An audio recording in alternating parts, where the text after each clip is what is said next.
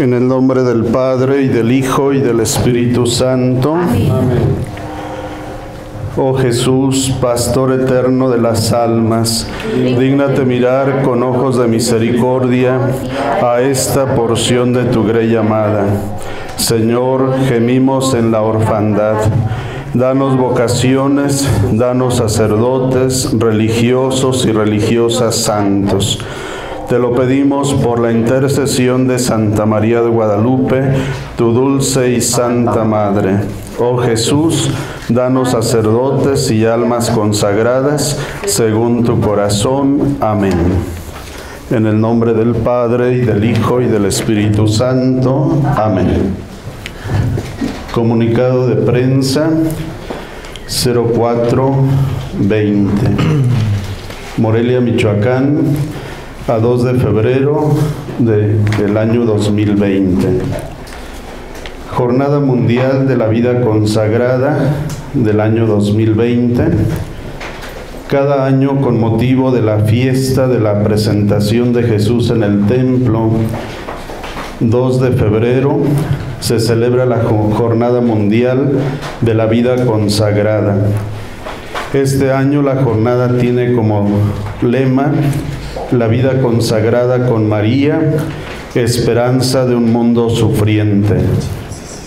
La esperanza es una virtud teologal de la que el mundo actual en el que hay tanto sufrimiento está profundamente necesitando, necesitado. La persona de especial consagración con su palabra, con su acción, pero sobre todo con su propia vida, es testigo y anuncio de esa esperanza, y lo será tanto a, prenda de María y con María, Madre de la Esperanza, a esperar solo en Dios. María esperó siempre en Dios y ahora ella nos enseña a esperar. Las personas que viven una especial consagración a Dios están especialmente llamadas a ser con María maestras y testigos de la esperanza.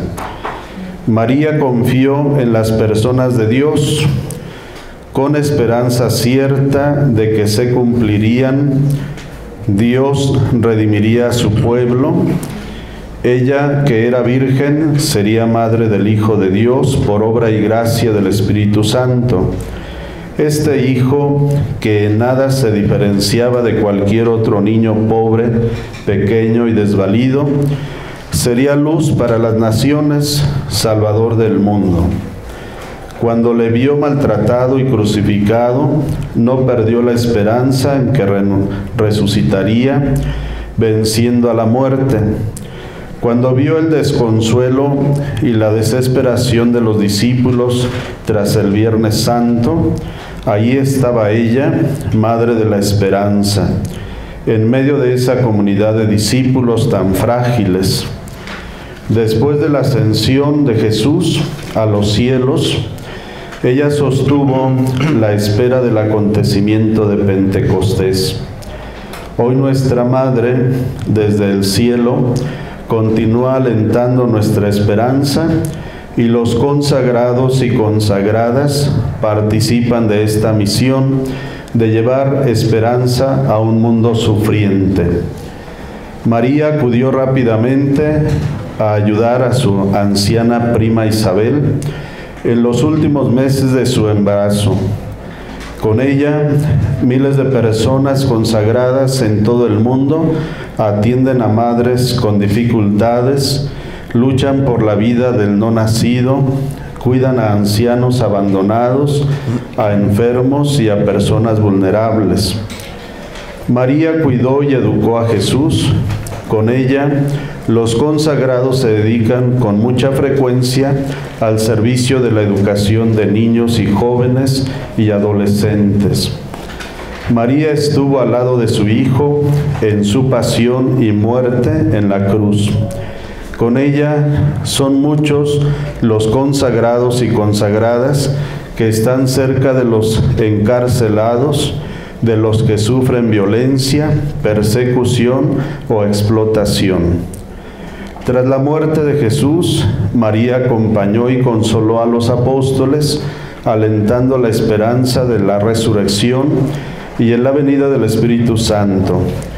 Con ella las personas consagradas llevan aliento y consuelo a quienes sufren tristeza, incomprensión, rechazo, angustias y desesperación. Enseguida el tema segundo de la rueda de prensa, le pido al Padre Julio César que haga favor de dar lectura. Día Mundial de la Lucha contra el Cáncer. El martes próximo, 4 de febrero, con el objetivo de concienciar e informar a la población sobre la necesidad de prevenir las enfermedades oncológicas, se celebra el Día Mundial contra el Cáncer. Este 2020 es bajo el lema Yo soy y voy a se trata de una llamada a la acción que pide un compromiso personal y representa el poder de las acciones individuales tomadas ahora para impactar en el futuro. El objetivo de la jornada es reducir el número de muertes evitables cada año. Por ello se pretende aumentar la conciencia sobre el cáncer entre la población en general y hacer que los gobiernos adopten medidas contra esta enfermedad unos datos que nos pueden servir, pueden ser revisar las páginas oficiales de salubridad a nivel estatal, donde, bueno, por ejemplo, el EVA Sámano ahorita atiende 860 niños eh, y algunos de ellos, bueno, eh, con el problema en general del cáncer infantil. También, sin duda, hay atención en el IMSS, en el ISTE, en algunas otras instancias. Y bueno, ponemos peculiar atención en el tema del cáncer de mama.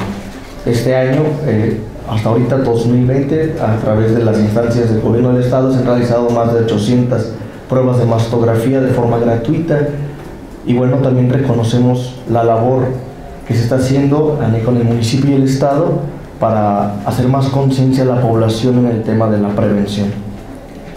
Los invitamos para que tengamos estilos de vida saludable, que tengamos una cultura de detección precoz, que tratemos de tener una buena calidad de vida Tengamos en cuenta que la epidemia mundial del cáncer es de enormes dimensiones. Se prevé que vaya en aumento. Hay que tomar acciones urgentes para aumentar la concienciación de la enfermedad. Este Día Mundial contra el Cáncer 2020 solo es una forma de hacerlo. La iglesia en este caso sirve de muchas maneras a los enfermos y cuida de ellos con renovado vigor en fidelidad al mandato del Señor el Señor que nos manda cuidar especialmente a los enfermos y a los más desprotegidos. En este tema, algunas acciones concretas de la Iglesia en este mes que también nosotros celebramos la Jornada Mundial de la Salud, Jornada del Enfermo, es precisamente bueno, la atención que ofrecen los párrocos de Atapaño y Charo a las instituciones del IMSS y del ISTE, el grupo de las Vicentinas Vallesoletanas que están aquí en Isidro Huarte. Ellas tienen un albergue, un comedor y también, bueno, tienen atención eh, de farmacia y apoyo para las personas con tratamientos oncológicos.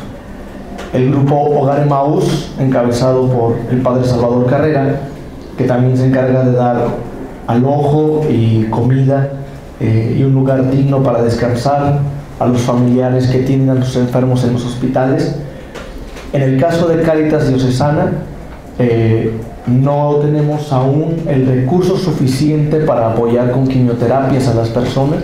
Sin embargo, intentamos apoyarles con el tema de algún medicamento eh, y apoyo también psicológico y espiritual. Solo tenemos registradas a nueve personas en Cáritas Diocesana. En la Casa María Salud, que funda hace un tiempo el padre Miguel Contreras, que es rector de aquí del templo de La Cruz con la señora María Magaña que fallece de cáncer. Bueno, es una casa también para las personas que vienen a sus tratamientos y necesitan hospedaje y comida por el tiempo que se les pueda brindar. Está aquí en Soto Saldaña número 50. Sin duda también eh, es de mencionar, se va a reabrir el banco de medicamentos con la intención de canalizar especialmente los medicamentos eh, especializados o costosos para las personas con cáncer y con otro tipo de enfermedades que se ubicarán en el Templo de la Columna en Bartolomé de las Casas. Además tenemos pues el equipo de ministros de la comunión, que son 5.000 ministros en todas las diócesis, que se dedican, son cuidadores de primer contacto, de primer impacto, y ellos semanalmente visitan a los enfermos de la arquidiócesis y entre ellos muchos con el padecimiento de cáncer. La iglesia, bueno, intenta servir de la mejor manera. La pastoral de la salud sigue siendo y siempre será una misión necesaria y esencial que hay que vivir con renovado ímpetu tanto en las comunidades parroquiales como en los centros de atención más excelentes. No podemos olvidar la ternura y perseverancia con la que muchas familias acompañan a sus hijos, padres y familiares enfermos crónicos o discapacitados graves. De parte también del equipo pastoral de la salud, se ofrecerá próximamente el taller de cuidadores primarios, la forma en como aquellos que en casa cuidan a sus enfermos pueden eh, apoyarlos de una forma más óptima y eficiente. La atención brindada en la familia es un testimonio extraordinario de amor por la persona humana que hay que respaldar con un reconocimiento adecuado y con unas políticas apropiadas. Por lo tanto, médicos y enfermeros, sacerdotes y consagrados, voluntarios, familiares, todos aquellos que se comprometen con el cuidado de los enfermos, en especial con los que padecen cáncer, participan en esta misión eclesial. Se trata de una responsabilidad compartida que enriquece el valor del servicio diario de cada uno. Eh, buenos días, Aira Casillas de Memorelia, junto con mi Metro. Eh, este eh, banco de medicamentos que se abriría específicamente cuándo, cuándo se va a abrir, este, cuánto tiempo estuvo cerrado, por qué causas y eh, específicamente también qué medicamentos son los que pudiera tener acceso a la población. La fecha de la apertura la vamos a anunciar de hoy en noche en la rueda de prensa, pero esperamos que sea a finales de este mes. Este mes celebramos para nosotros la Jornada Mundial del Enfermo porque el 11 de febrero es la fiesta de la Virgen de Lourdes, que es la patrona a nivel mundial de los enfermos y de la salud. Estar ahí precisamente en Bartolomé de las Casas número 16, Centro Histórico de Morelia, a un lado del Templo de la Columna, lo que era la escuela apostólica del Padre Saturnino eh, de Dios 12, y el Banco de Medicamentos ya existe, es una IAP, es Banco de Medicamentos Vasco de Quiroga, Don Alberto Suárez de Cardenal fue cofundador del banco y bueno, tuvo un cese de actividades precisamente por el cambio del personal en el patronato, eh, la aparición de muchas farmacias, ¿verdad? Ya con costos eh, muy accesibles. También en ese momento, bueno, a lo mejor afectó la dinámica del banco de medicamentos. Ahorita por órdenes del señor arzobispo se ha retomado la institución y bueno, la intención no es eh, lucrar con el medicamento, es, la menor de las intenciones, es canalizar el medicamento que todos tenemos, por ejemplo, en casa, que muchas farmacéuticas tienen también, que muchos vendedores de medicamentos tienen y que a lo mejor ya están prontos en meses a tema de ya no son objetos de venta. También muchos que estén medicamentos que sí tienen eh, durabilidad, la intención es canalizarlos especialmente a las personas más necesitadas, con todo el procedimiento que Salubridad nos pide, los permisos de COFEPRIS, obviamente se requerirá en algunos casos por la receta médica, habrá un médico, que es el, doctor Gibran, que es de la comunidad del Carmen, quien va a encabezar para eh, poder firmar recetario y demás, y es más o menos la intención del banco. ¿Cuánto tiempo no estuvo operando entonces? Son como 12 años. 12 años de inactividad. De inactividad. Buenos días, eh, mi nombre es Margarita Reba de chiquita.com. Bueno, el día de hoy se celebra el Día de la Candelaria y bueno, con ello se llevan a bendecir los niñitos Dios. Ayer estaba dando una vuelta por el mercado de Independencia y toda esa zona, había arreglos excesivamente grandes, incluso diría hasta caros o lujosos, y otros muy extravagantes de personajes, de eh, partidos de fútbol, digo, de equipos de fútbol.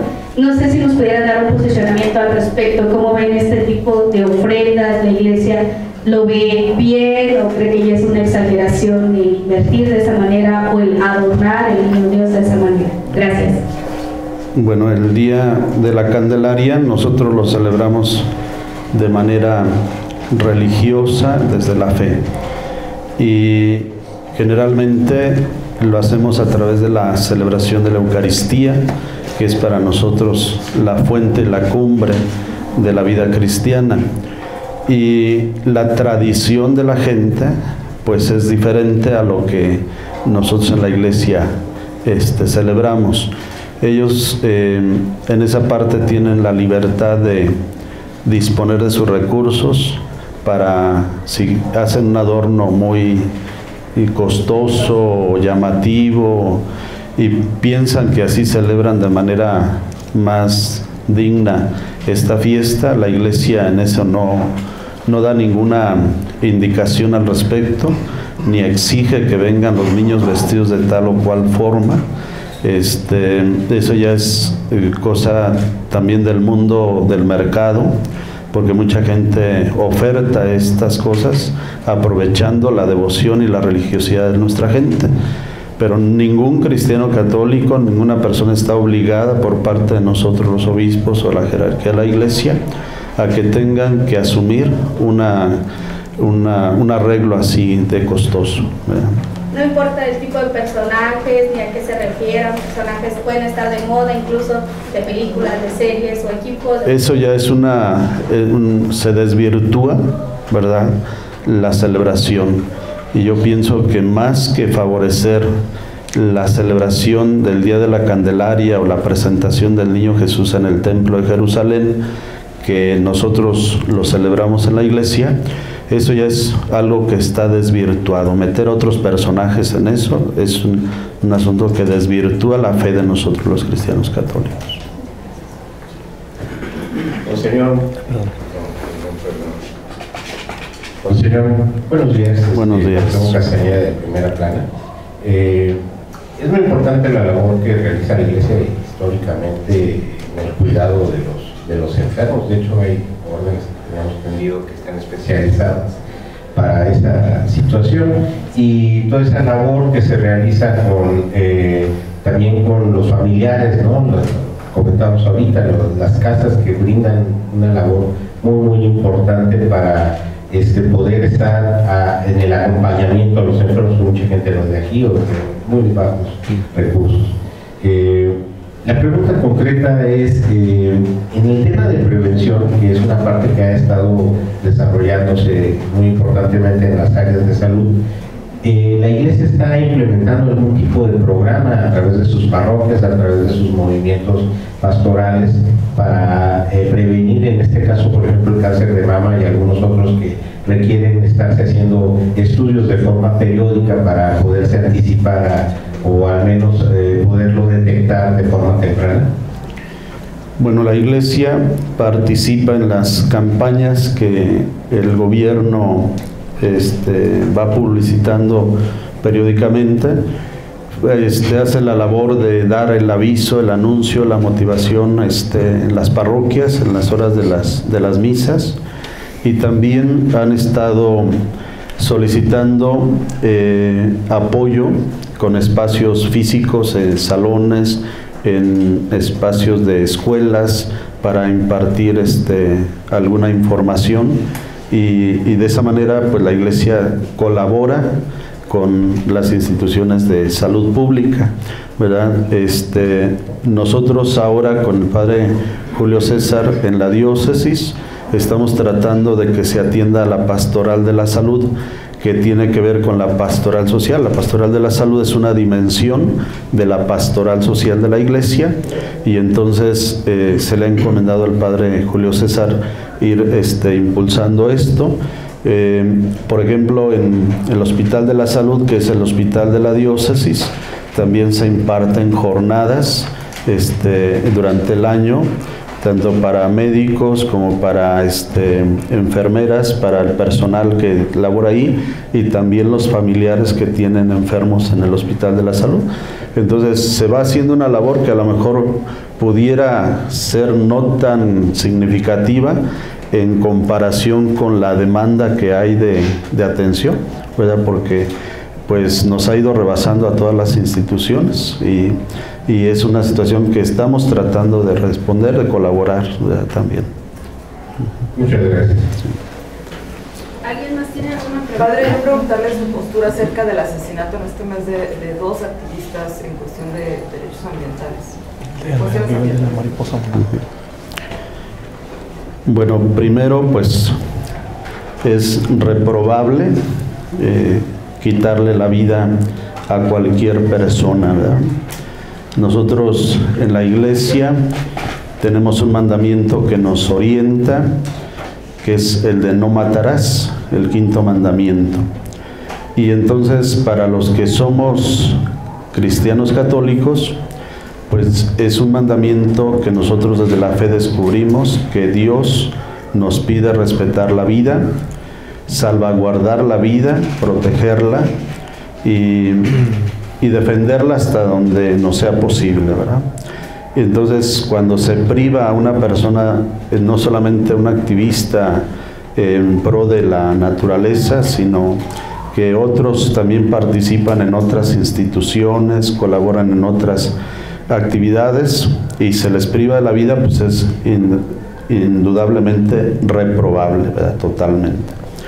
Ahora, este, sí tengo que decir algo que a mí me hizo reflexionar la información que se fue eh, haciendo pública a través de los medios de comunicación, que hay una preocupación quién va a seguir ahora al frente de, de estos este, santuarios, como es el santuario de la mariposa monarca, puesto que el gobierno del Estado y el gobierno federal no les garantiza a ellos quién los proteja, quién los cuide, porque si están prestando servicios eh, a la naturaleza y a la comunidad que está viviendo dentro de ese lugar, pues no hay protección para ellos, no hay quien defienda su vida de ellos. Y están expuestos como cualquier otra persona y yo pienso que sí debería haber eh, quien cuide y quien proteja a estas personas que están prestando estos servicios, porque también no hay que desconocer, es decir, yo no comparto mucho que nos quieran eh, ver ingenuos ante el tema, pero hay muchos intereses de por medio. Allí hay muchos intereses económicos, hay muchos intereses políticos, hay muchos intereses de grupos, hay muchas cosas que están en juego. Entonces, cuando todo eso no está eh, iluminado con valores, con principios que hagan que la misma comunidad se organice para ayudarse, para cuidarse, para protegerse y que las instituciones como el gobierno les garantice su seguridad, pues todo eso hace vulnerable a las personas, cualquiera que esté. Entonces, yo sí invitaría pues a que se piense de qué manera se puede garantizar la seguridad de, estos lugares y otros que en la sociedad están siendo pues muy vulnerables. Excelencia, ¿cómo va el programa de, mujeres violentadas y la equidad de género? Este, parece que sigue creciendo con la cifra y no vemos resultados concretos en esto. Bueno, eh, la iglesia pues eh, sigue adelante con lo que ha implementado. Tiene el refugio Santa Fe, tiene también este, los centros de escucha y también está la Casa del Artesano que se atiende también a personas que tienen adicciones, pero este, sabemos que es insuficiente, ¿verdad? Y en ese sentido, pues yo sí invitaría a más instituciones de la sociedad, a más personas que participen, porque no solamente es una responsabilidad de la institución del gobierno en los distintos niveles, ni tampoco es una responsabilidad solo de la iglesia, sino que pues aquí tenemos, como decíamos aquí en la en el comunicado que pues es una, una responsabilidad de toda la sociedad, ¿verdad? Es un tema que nadie puede quedar al margen, nadie puede quedar excluido de participar. Yo creo que todos deberíamos de sumar esfuerzos porque ya a nivel de instituciones estamos rebasados. ¿verdad? Entonces sí sería invitar a que más personas participen, más instituciones se involucren. Después la semana pasada hubo acá afuera una manifestación de transportistas en contra de la ciclovía opina la arquidiócesis? Eh, ¿Están a favor de la continuidad de este programa o cuál sería su postura? Mira, eh, yo hay eh, muchas cosas buenas, ¿verdad?, que se pueden rescatar. Por ejemplo, pues yo soy partidario de que sí hagan ejercicio las personas, ¿verdad? soy partidario de que conviva la familia, este, que tengan sus espacios para para ese momento. Soy también partidario de que Morelia ofrezca un espacio de recreación, pero creo yo que hay excesos también, ¿verdad? Porque Morelia tiene otros espacios eh, de recreación, de deporte, y están solos muchas veces. Ahí tenemos el Venustiano, este, que tiene pistas, que tiene canchas, que tiene alberca, que tiene campo de base, campo de, de, fútbol, que tiene canchas de tenis, este, y no va la gente. Entonces, ahí yo la lectura que hago, hay muchas personas que tienen necesidad de llamar la atención, y eso se llama necesidad de reconocimiento social. Quiero que me vean, quiero mostrarme, quiero exhibirme. Y si yo tuviera la convicción de hacer ejercicio, yo no necesito un espacio público para que me vea la gente, que yo ando haciendo ejercicio. Otro espacio que muchos hemos recorrido a él es el bosque, por ejemplo. Mucha gente va, es un espacio yo creo muy bueno y no se satura, no se aprovecha, no. ¿Por qué tiene que ser una vía pública? Morelia sabemos que tiene problemas viales. Cuando le bloquean la madero por cualquier motivo, no solamente por ese, Morelia se, se vuelve un caos, ¿verdad? Por cualquier motivo, ustedes lo saben, cuántas manifestaciones hay a la semana. Entonces eso frustra a mucha gente de sus actividades. ¿Por qué? Porque llegar al centro, encontrarse con que está bloqueada la madero, ¿para dónde se van? Por ejemplo, las personas que vienen de fuera, que no conocen alternativas, ¿para dónde se mueven? Entonces, en detrimento de terceros, yo digo que no está bien. Entonces, yo creo que Morelia tiene otros espacios, por ejemplo, pienso hacia Jesús del Monte, San Miguel, este, Chaqueo. Es una ruta que está perfecto para ir a hacer ejercicio. ¿Por qué no van para allá? Hay mejor oxígeno, no hay smog, pero no van y no se promueven. ¿Por qué tienen que ser las, las vías que tiene Morelia como este para que la gente transite y se vaya a sus trabajos, sus actividades? ¿no? Entonces, a mí me tocó la manifestación de las comis pasadas, que fue hace ocho días precisamente. Entonces, a ellos les afecta en su trabajo y cualquiera diría, bueno, pues ellos, ¿por qué se conforman si tienen toda la semana? Pues es un día de trabajo y la gente también que usa el transporte público tiene un horario para llegar a sus actividades. Entonces, toda esa parte, yo creo que las autoridades civiles tienen que responder reglamentando y ordenando todo eso. Hay, domingos que hasta las 6 de la tarde todavía está cerrada la, avenida Madero. Y a mí me ha tocado porque he venido a misa de 6 aquí a Catedral y, y está bloqueado. Entonces son, son de las cosas que, que digo, hay excesos, ¿verdad? Y yo creo que si hubiera un poco más de orden sería diferente. En el nombre del Padre y del Hijo y del Espíritu Santo. Amén. Padre de misericordia, tú que concedes vida en abundancia y eres médico verdadero y dador de salud, te rogamos que desciendas y concedas tu protección y amparo a todos tus hijos en padeceres que padecen cáncer concédeles la gracia de la salud. Te lo pedimos por intercesión de la Santísima Virgen María, Inmaculada de la Salud, patrona de nuestra arquidiócesis. Amén. Amén. El Señor esté con ustedes y la bendición de Dios Todopoderoso, Padre, Hijo y Espíritu Santo descienda sobre ustedes.